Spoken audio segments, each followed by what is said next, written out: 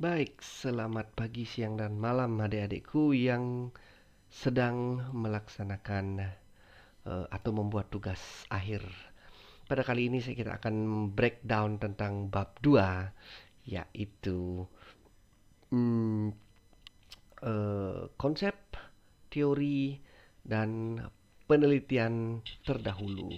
Uh, saya akan uh, lebih dulu menjelaskan tentang apa itu konsep, apa itu teori, dan hal yang membedakan kedua uh, uh, poin tersebut karena umumnya adik-adik pada saat menulis itu sering sekali mismatching. Jadi uh, mana yang konsep, mana yang teori. Baik saya akan jelaskan itu uh, lebih dulu. Uh, setelah itu saya akan menyusul tentang bagaimana uh, menulis uh, uh, tulisan terdahulu yang diacu, referensi yang diacu uh, baik tanpa membuang waktu, uh, kita langsung saja ke perbedaan utama antara konsep dan teori. Tapi sebelumnya jangan lupa uh, subscribe di channel ini, share ke teman-teman Anda yang sedang melakukan uh, bab 2 atau sudah melakukan bab 1 karena uh, masih ada video yang lain yang akan mengupas tentang uh, tugas akhir Anda. Ya, jangan lupa.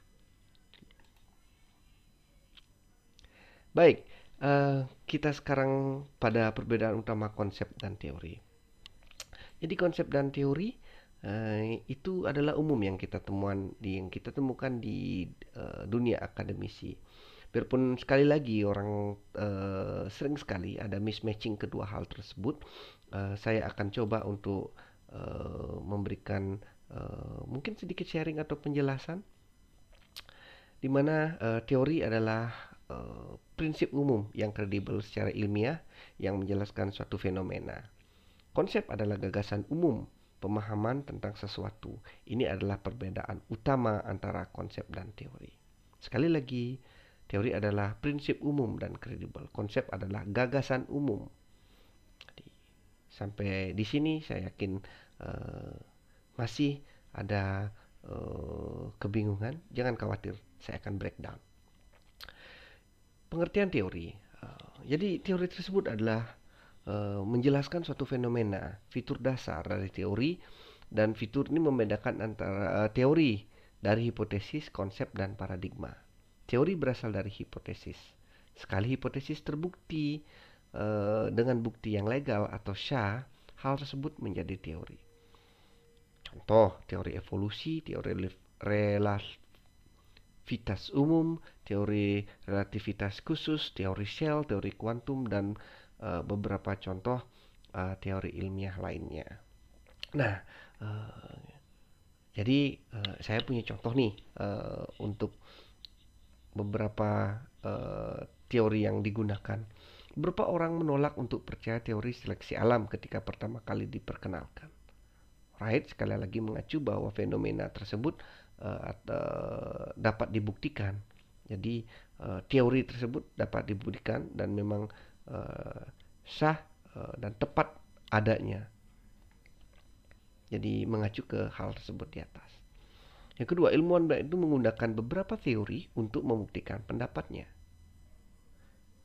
Selanjutnya, dia mengembangkan teori baru tentang relativitas. Jadi teori tersebut harus diuji kebenarannya, fenomenanya. Dari sampai sana jelas?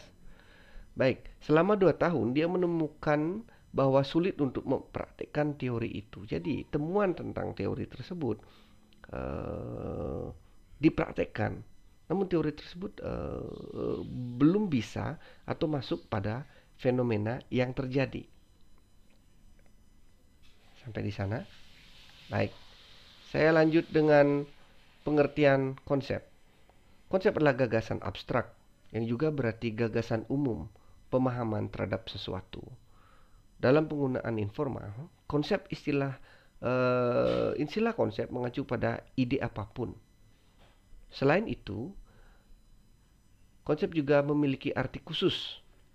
Dan umumnya konsep itu mengacu pada hal-hal seperti bidang linguistik, filsafat, psikologi, matematika, dan fisika. Untuk lebih jauh memahami tentang konsep, adalah sebagai berikut. Dia memiliki banyak konsep abstrak, jadi penjelasannya tidak masuk akal. Selanjutnya, dia memperkenalkan konsep baru di bidang perhotelan. Hal lainnya, Anda tidak memiliki konsep masalah orang-orang biasa. Lanjut, dia menentang konsep seni tradisional dengan gaya barunya. Jadi, jika kita sum up, kita lebih bedah lagi perbedaan antara teori dan konsep. Konsep merupakan ide abstrak gagasan umum atau pemahaman tentang sesuatu. Nah, jika saya uh, ingin menjelaskan lebih lanjut bahwa kumpulan dari teori-teori itu akan membentuk konsep karena teori-teori tersebut sudah uh, teruji, terbukti kebenarannya dan hampir semua teori-teori A, teori B, teori C itu secara generalisir sekali lagi secara general teori A, B, C memiliki pandangan yang sama, pemahaman yang sama, hal itulah menjadi konsep. Saya ulang sekali lagi, Pak Kiki ulang lagi sekali bahwa teori A, teori B, teori C, teori D memahami, e, memiliki pemahaman yang sama, maka di wrap up, di sum menjadilah itu suatu konsep. Sedangkan teori, ya dia terpisah, belahan kecilnya masih bersifat uh, uh, seperti saya bilang dia saya jelaskan menjelaskan hanya pada satu fenomena saja. Tetapi begitu diuji pada kondisi fenomena lain, itu hal itu berbeda. Sekali lagi, teori itu dapat terjadi pada fenomena A. Begitu diuji pada fenomena B, itu tidak terjadi. Baik ya. Ya. Jadi uh, saya langsung saja pada kesimpulan. Di sini kesimpulannya adalah teori prinsip umum yang kredibel secara ilmiah menjelaskan satu fenomena. Jadi jika fenomenanya A dijelaskan dengan teori A, tapi konsep adalah gagasan umum atau lebih general. Sampai di sana, uh, mudah-mudahan memberikan penggambaran. Jika mungkin saya bilang pada uh, dunia saya di perhotelan. Jadi uh, kita berbicara pada konsep perhotelan Perhotelan adalah uh, suatu kegiatan penyediaan akomodasi yang bersifat uh, bisnis atau mencari keuntungan. Itu adalah konsepnya. Sampai di sana, konsep bahwa konsep perhotelan adalah uh, menyediakan makan, minum, akomodasi untuk tujuan komersil. Nah, teorinya kita punya teori perhotelan pada fenomena tertentu, kita berbicara pada homestay. Teori homestay, ya. teori homestay adalah dia juga menyediakan makan, minum, tapi harganya murah. Teori yang kedua yaitu teori tentang city hotel perhotelan City Hotel. Perhotelan City Hotel dia menyediakan akomodasi, makan, minum, juga spa, tapi harganya lebih mahal dari homestay. Teori ketiga, butik hotel, luxurious hotel menyediakan tidak hanya makan, minum, entertainment, dan segala macam dengan harga yang bombastis to wrap up. Untuk merap up itu semua menjadi satu konsep. Jadilah dia konsep tentang perhotelan. Konsep yang lebih besar. Di mana konsep tersebut? Semua kegiatan yang menyewakan akomodasi menyediakan makan minum itu adalah bersifat komersial. Konsep ini patah bila mana ada terjadi membuat uh, konsep baru bahwa ada hotel yang tidak mencari keuntungan yaitu hotel yang mungkin suka-suka karena pemiliknya sudah uh, mampu wealth seperti Bill Gates mungkin yang membuka hotel yang untuk uh, diberikan kepada korban-korban uh, COVID atau pandemik, ya otomatis fenomena ini membuat konsep patah dan teori itu patah. Bahwa tidak semua hotel itu uh, bersifat uh, komersil dan hal inilah yang menjadi layak diteliti dan teori itu membuat teori dan konsep akan bertentangan.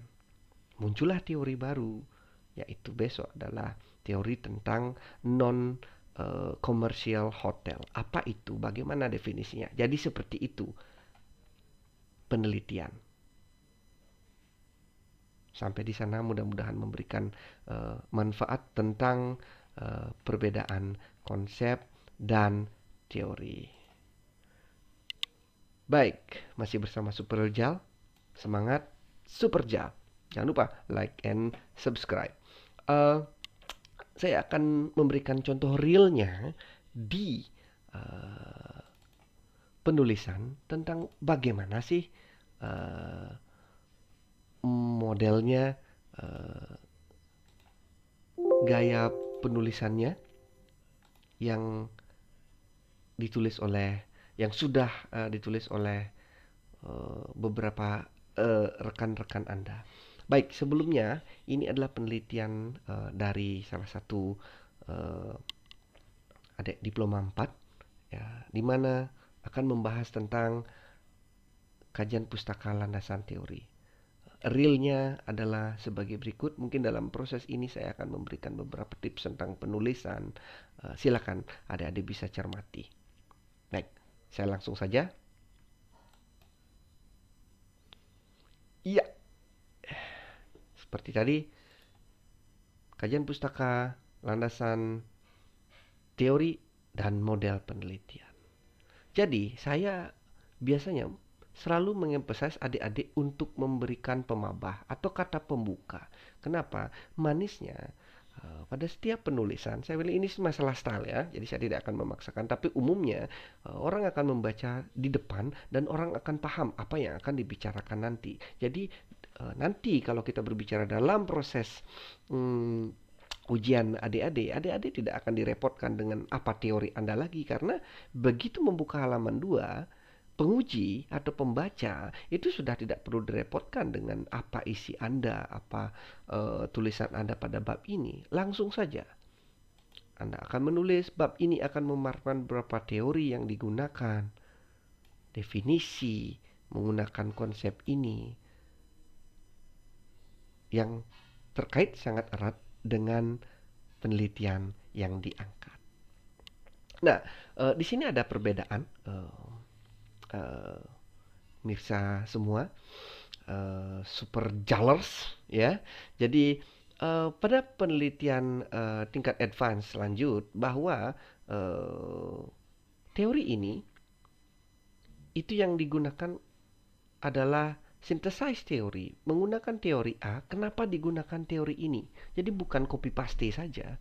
Jadi bukan copy paste menggunakan uh, tentang teori A setelah itu ditempel menggunakan teori B ditempel tidak.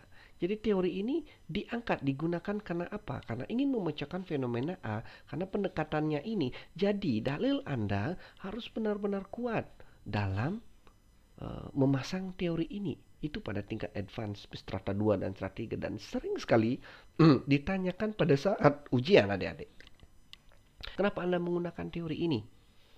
Kenapa tidak teori ini? Jadi kalau Anda tidak kuat dalam memberikan argumentasi, mohon maaf, teori Anda bisa dirubah. Dan mohon maaf, Anda akan keluar keringat dingin karenanya. Konsep hal yang sama berlaku kepada konsep.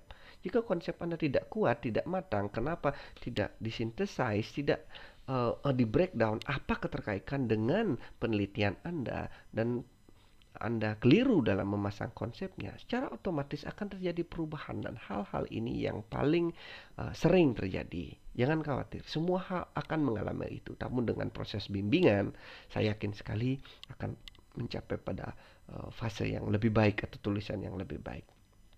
Uh, baik, kembali ke tulisan.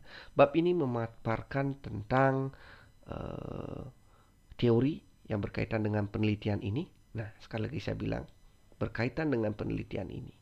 Antara lain apa itu definisi hotel, definisi room online, e-commerce, uh, tingkat penjualan dan pendeknya yang dia gunakan. Jadi uh, di sini yang apa itu definisi, apa itu pengertian, itu umum, bersifat umum. Sekali lagi itu adalah konsep yang digunakan pada penelitian ini. Kita bilang kita menyebutkan tentang definisi hotel seperti tadi, apa itu definisi hotel? Usaha komersial yang berbahaya itu adalah konsep yang digunakan karena kenapa konsep itu iya konsep tersebut sekali lagi ya sudah umum digunakan. Jadi orang uh, harus menyebutkan di sana karena biarpun anda orang perhotelan, namun bisa saja kalau Anda upload ini di internasional, di jurnal, di forum, um, mereka belum tentu mengerti Orang ekonomi belum tentu mengerti bahwa ini adalah kegiatan akomodasi yang bersifat komersial. Orang matematik tidak akan mengerti, jadi di sini harus dijelaskan secara baik. Lanjut, eh, di sini ada teori yang dipaparkan, yang didapatkan dari buku reference, antara lain penyelenggaraan hotel, itu milik dari Sulastiono 2011, prosedur reservasi untuk uh, pemesanan online, yaitu dari Suartane tahun 87 teori dan praktik hotel uh, Bagiono yang sudah sering sekali digunakan manajemen pemasaran di mana ada analisis, perencanaan, implementasi dan pengendalian dari Philip uh, dari Kotler ya Philip Kotler dan Keller tahun 2002. Nah dalam buku-bukunya banyak sekali teori-teori yang memaparkan tentang fenomena-fenomena uh, yang coba Kotler dan uh, Keller rangkum dalam satu teori. Tetapi sekali lagi, teori tersebut dimasukkan belum tentu teori tersebut sama dengan fenomena yang terjadi di hotel. Sekali lagi, fenomena yang terjadi di hotel berbeda. Pak Kiki emphasize sekali lagi saya tekankan fenomena yang terjadi di hotel berbeda dan hasil penelitian Anda adalah dapat bertentangan dengan teori yang disampaikan oleh Kettler dan Keller ini, uh, Keller ini. Selanjutnya, dalam bahas ini juga akan membahas penelitian terdahulu yang digunakan sebagai acuan dan pembanding. Jadi adik-adik di sini akan uh, merujuk ke penelitian terdahulu. Jadi di sini poinnya adik-adik harus membaca, jadi membandingkan dan lain sebagainya. Apa keunggulan penelitian Anda? Pada uh, yang lebih tinggi, pada penelitian lebih tinggi disertasi misalnya, uh, akan dicantumkan poin dari penelitian sihar Sihandrini tahun 2004 dan apa perbedaannya dengan penelitian uh, yang adik-adik sekarang dalami. Apa bentuk temuannya dia sedangkan kita akan mencari apa temuannya. Contoh uh, ini menggali tentang uh, kedalaman tentang pariwisata minat khusus. Adik-adik juga pariwisata tapi bukan pariwisata minat khusus namun akan lebih kepada eco uh, mungkin eco greennya atau green tourismnya silakan jadi di sini e, berusaha memberikan satu keunggulan penelitian dalam penelitian Anda. Namun pada mungkin skripsi Anda ada cukup mengacu mereka e, akan mengambil teorinya karena akan ada e, sedikit kesamaan. Silakan sampaikan saja. Ya, jadi inilah kajian pustakanya ya. Jadi menyajikan uh, penelitian tentang penggunaan situs web, bahwa cangkupan sekali lagi seperti yang saya bilang bahwa akan dipaparkan sedikit tentang penelitian mirip uh, si Handrini ini. Apa yang akan dia uh, diteliti dan temuannya seperti apa silakan disampaikan. Atau uh, isi atau daging penelitiannya silakan disampaikan. Sama dengan Sumerlan uh, yang meneliti juga tentang pengaruh online booking silakan disampaikan apa yang dia temukan, ceritanya bagaimana, teori yang digunakan. Masuk ke landasan uh, konsep ya sebenarnya ini adalah konsep saya ubah sedikit. Konsep ya. Ini adalah konsep bahwa hotel atau di sini perhotelan ya lebih jelasnya adalah kegiatan yang seperti saya bilang tadi, pengertian atau definisi dan lain sebagainya silakan cantumkan pengertian menurut Ahmad, penen, melen, uh, pengertian menurut uh, Hotel Lodging uh, Association dan lain sebagainya. Konsep Selanjutnya yang digunakan adalah konsep reservasi. Cara umum konsep reservasi adalah pemesanan. Nah, ini sekali lagi kita berbicara apa itu konsep adalah hal yang terjadi umum. Yang mencakup semua fenomena ada di setiap kegiatan dan memang absolut atau mutlak. Reservasi itu adalah pasti pemesanan pemesanan apa pun itu. Namun kita berbicara teori, nanti ada teori pemesanan nightclub, eh, itu lain lagi dibahas. Wah, nanti akan ada reservasi nightclub yang lebih mengkhusus. Tapi umumnya itu adalah kegiatan di mana kegiatan tersebut adalah melakukan pemesanan apa pun itu bentuknya. Ya, kita uh, akan untuk um, mengacu ke ya pengertian e-commerce. Sekali lagi, pengertian e-commerce ini adalah uh, mencangkup ke konsep kita definisi pengertian itu umumnya adalah konsep. Namun sekali lagi konsep ini bisa eh, e-commerce ini bisa menjadi teori manakala e-commerce ini uh, tidak mengena pada fenomena tertentu. Jadi cara untuk membuat uh, mengutip bisa lihat di sini. Brian Garner menyatakan pada e-commerce merupakan bla bla bla bla. Mengutip ya quote setelah itu satu spasi. Jika bahasa Inggris, upayakan garis mereng. Dan Anda, sekali lagi, umumnya itu penulis itu menempel saja. Yang dimaksudkan dengan menempel adalah kegiatan e-commerce uh, ini ditempel dan tidak dijelaskan. Sering sekali pada penulisan hal-hal itu terjadi. Namun harapan saya pada adik-adik yang uh, pada menulis dan juga rekan-rekan yang menulis pada tingkat advance S2 apalagi strata 3 doktoral hal ini tidak terjadi manakala e-commerce di sini harus dijelaskan dijelaskan dan juga bukan hanya dijelaskan namun apa keterkaitan uh, yang Anda kutip ini dengan penelitian Anda sekali lagi sering sekali ini menjadi kesalahan entah penulisannya dan juga entah tidak mencantumkan apa maksud dari kutipan ini atau e, keterhubungan atau relevansi dari dan kepada penelitian Anda. Ya. Jadi demikian. Sumber ya umum di bab satu sudah saya jelaskan tentang hal tersebut. Uh, ya tingkat hunian kamar. Jadi periklanan dan lain sebagainya. Nah, sekali lagi uh, di sini melakukan kutipan dan sekali lagi kutipan adalah satu spasi. Jangan lupa itu. Ya, mudah-mudahan memberikan manfaat. Nah, demikian uh, tentang uh,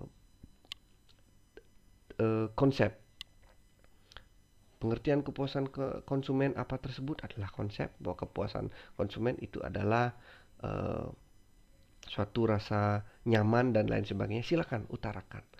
Baik, kita maju ke model. Jangan lupa di sini uh, diupayakan bahwa di sini adalah mo ada model penelitian. Jadi teori dan konsep dimasukkan setelah tersebut bagaimana uh, akan dilaksanakan jadi situs online, reservasi online, data silakan saya rasa Anda sudah mempunyai model penelitian sendiri yang akan nanti uh, Anda sampaikan ke pembimbing Anda. Jadi demikian. Bab 2 uh, eh, tentu saja bab 2 ini jika uh, mungkin saya rate uh, tidak senjelimet bab 1, tidak sekomplikated bab 1. Namun sekali lagi jika adik-adik melanggar uh, atau mungkin rekan-rekan mungkin lupa saya akan mengingatkan lagi bahwa teori, konsep, penelitian terdahulu, dan model penelitian harus juga dirancang secara baik. Jika tidak, mohon maaf, atau main tempel saja ya, jadi main tempel teori ditempel konsep asal, dan ini yang sering menjadi temuan dalam ujian dan tentu saja akibatnya jika teori salah bab 4 atau bab pembahasan Anda itu akan berubah total. Jadi sekali lagi, banyak baca, diskusikan dengan pembimbing Anda.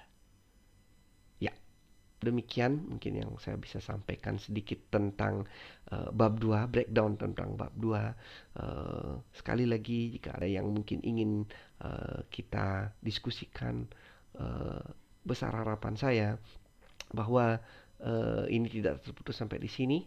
Uh, silakan kita akan berdiskusi, uh, kita berdialog uh, sehingga bab 2 Anda menjadi baik. Saya wrap up sekali lagi sampaikan apa yang ingin Anda omongkan di depan, berikan pemabah, teori apa, konsep apa, dari apa, breakdown dia, kenapa pakai penelitian ini, uh, sorry, pakai konsep ini, karena memang yang penelitian Anda adalah di perhotelan misalnya, ya pakai konsep perhotelan, penelitian Anda pariwisata pakai pariwisata, teorinya adalah teori uh, yang lebih uh, uh, fenomen uh, fenomenologi, yang bersifat fenomenologi, jadi misalnya uh, di atas pariwisata yang ini pariwisata minat khusus untuk teorinya apa? Teori minat khusus teorinya adalah kegiatan bla bla bla silakan sampaikan.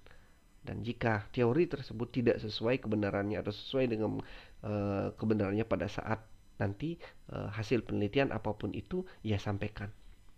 Jadi demikian uh, wrap up dari uh, bab 2 itu uh, kajian pustaka uh, landasan teori, uh, konsep, dan juga model penelitian.